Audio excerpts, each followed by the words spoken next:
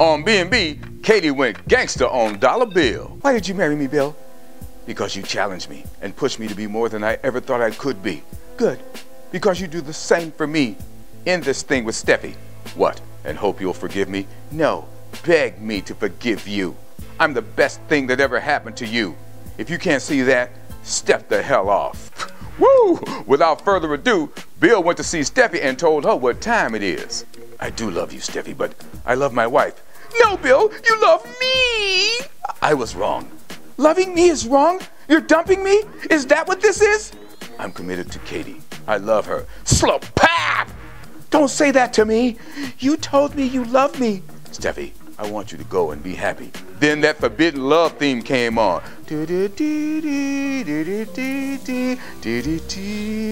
Will you be happy, Bill? You'll wake up in the night wanting this hot body, craving the feel of these sexy soup coolers. Steffy, it can't happen for us. Not now. Get out! Get out! Just go! Bill left and she went nuts. Ridge came to see about his baby girl and Steffy made a vow.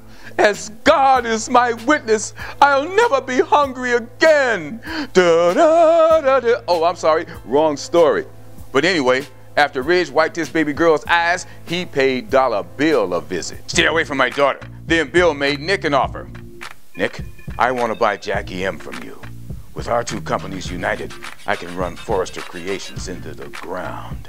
Meanwhile, Steffy was about to slip in the bathtub. No, actually, she slipped in the tub. She had run a bubble bath and poured herself a glass of wine, but as she got into the tub, she hit her head and was out cold. Liam was at the door to bring Steffy's key back from Dollar Bill. He got no answer as Steffy slipped further and further under the water. Will Liam get there in time to pull Steffy out? Or will she pull him in? Don't miss it because it's got to be bold and beautiful, baby.